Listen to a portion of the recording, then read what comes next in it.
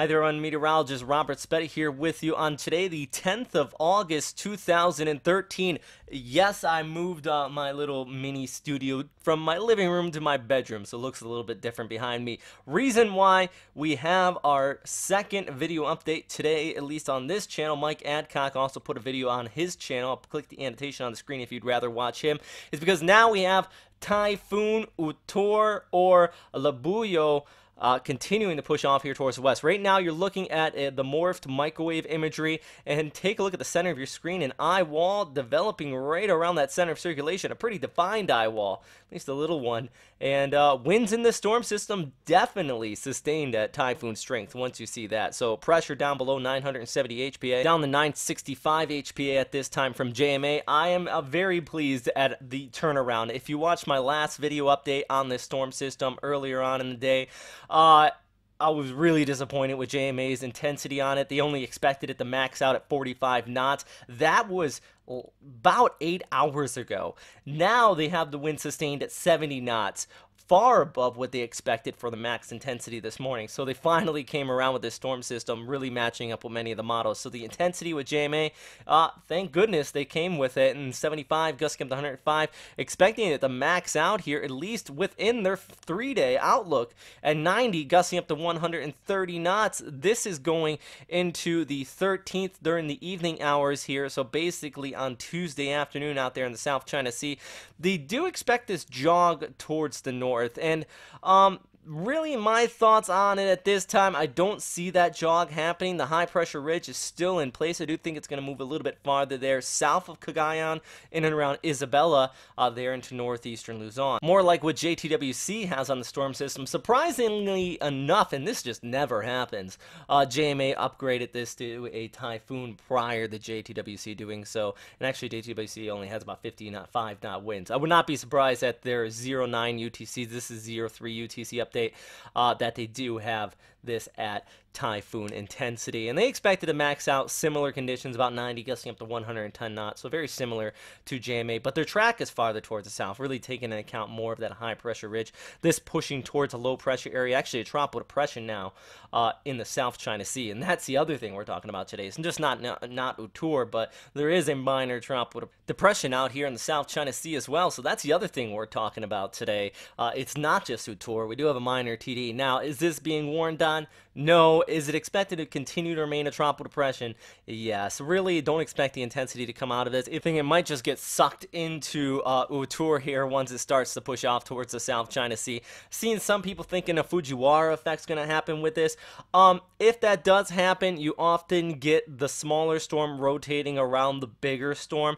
So it would uh, rotate in this counterclockwise motion around um, Utor. So that could possibly push it slightly farther north, but I don't see the big jog that JMA is expecting out of this. This likely, if anything, is just going to get sucked right into the storm system, kind of like a star just venturing a little bit too close to a black hole out here. And then we just take a look at the overall background flow. You know I like using this tool. I, have used it on my last several updates. It pushing across northeastern Luzon right around Isabela, and then pushing basically due west towards Hainan. Hainan, you do not need any more storm systems. We had Jebi and Mangkhut uh, hit in the last two weeks alone. So a third one and possibly a very strong to uh, very severe typhoon hitting the area. Uh, it, it could be disastrous. But for now, though, main topic the Philippines. What is going to be uh, the impact here. Well, here's the map I actually created earlier on today. I'm going to be updating this after I get done with the video update to reflect that this is a typhoon now. But still, landfall early Monday morning. Expect that in and around Isabela heavy rainfall, um, basically 150 to 200 millimeters, but along the northeastern periphery of where this is making landfall, where that heaviest moisture inflow is going to be pushing on shore, I do think some areas out here could see about 300 millimeters. So very serious risk of flooding, very serious risk of landslides. And then this is still going to be enhancing that monsoonal flow as it comes off the, the uh, west coast. So even around Manila, down towards Visayas, especially on the western seaboards, we could see some heavy rainfall tallying up to between 1 and 200 millimeters short time time downpours up to about 50 millimeters in the course of a few hours here, especially along there into northeastern Luzon, like I mentioned earlier, but even down there on the west coast. And after this moves off there on the west coast of Luzon as well.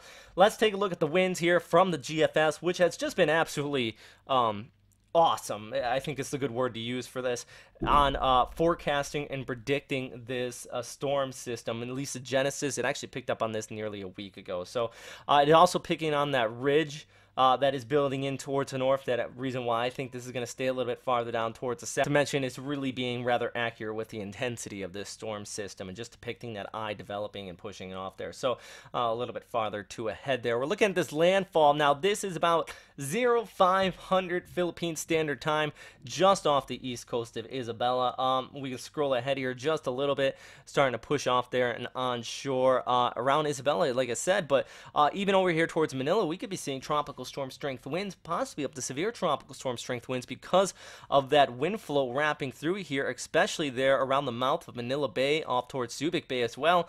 Uh, you could see some funneling here, and eh, there's a possibility of some damaging winds even on the west coast. But uh, like I said, really where the bad stuff is going to be is off here towards the north. Storm surge possible as well. I mean, we could see uh, with landfall here, waves alone up to about 8 meters high, but storm surge accompanying with that coastal flooding is going to be a very serious risk.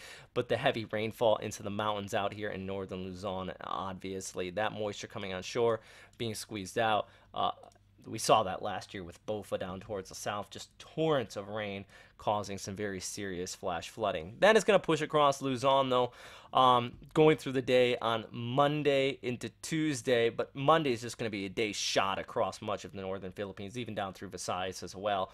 Um, I would expect it's going to be a long weekend. If you got school on Monday, businesses, anything like that, uh, even in Manila, is probably going to be closed. I'd be surprised, and I think it would be rather uh, a bad idea if any uh, authorities out there left this stuff open once the storm pushed over shore uh, throughout the day on Monday. And then it's going to push off there towards the west. Um, Hong Kong, you still want to continue to keep an eye on it. If that ridge does weaken even slightly, uh, it very well could push off into your direction here, possibly bringing some damaging winds like we are actually seeing here with this GFS model run. Uh, most of the models have been keeping it farther towards the south, but this particular output starts to shift it off there towards the north. And possibly, well, take a look at that. It looks like a rather severe and intense storm system pushing on shore there into Hong Kong. So they expect a little bit of weakening with that ridge. That's still uh, several days out, though. This is by Wednesday right now, I'm making this update on um, Saturday.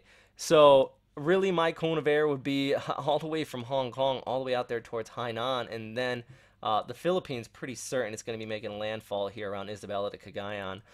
But then after that, it, it, still could be shifting here. As long it all depends on what exactly a high pressure ridge is going to be doing off here towards the north, and when it is going to be interacting with that. So we want to continue to keep it updated. But if you are out in Hainan, Hong Kong, Macau, uh, both most of Guangdong Province, keep a close eye on this through the coming days. we'll definitely continue to keep you updated here at Western Pacific Weather for the latest on this storm system. this is just one more tool we like to use and just showing the model consensus with that definite landfall there uh, into northeastern Luzon uh, through Monday morning. But then you notice in the long range, a lot of these models starting to pull off there towards the northeast. I know earlier I mentioned that a high pressure ridge, the overall background flow keeping it farther down there towards the south. And another reason why I think we got the model split, but you have that background flow. Um, still, uh, at long range, it's going to be interesting how this does develop and unfold. For now, though, um, if you are out here in the Philippines, please continue to watch um, here, but also check in with Pagasa, the official agency. Also, the NDRMC uh, puts out some uh, very good warning information on these storm systems, especially when they start to push off there towards the Philippines. But that is all for right now, everybody. Thanks again for watching here Western Pacific Weather. Uh, this is the latest satellite analysis. Uh, yeah, we're going to continue to watch this throughout the day. But if you have any questions, comments, or suggestions, please post them down into the comment box below. Also, let me know if you watched the entire video. I always appreciate that feedback. And I'm not sure if people sit through the 9 to 10 minute updates. I'm always afraid people fade out around 5 minutes. So I'm always trying to make these better for you, uh, the viewer out here. Thanks for watching.